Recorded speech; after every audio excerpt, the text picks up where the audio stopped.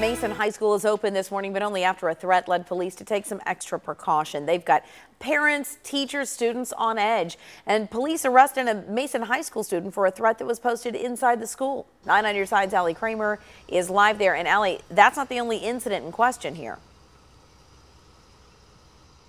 No, Catherine, we're talking about two separate incidents. One was in the Mason High School bathroom where administrators say there was a non-specific threat made, and then one was actually on a school bus where those teachers are telling us that a student stood up on the bus and said he was going to shoot up the school. Now, Mason City Schools are telling us a little bit of this information in a Facebook post, actually. Authorities say that they will have a robust law enforcement presence at all schools today. They stress that other security measures are being uh, take, are taking place, but they're not being made public, obviously for specific reasons.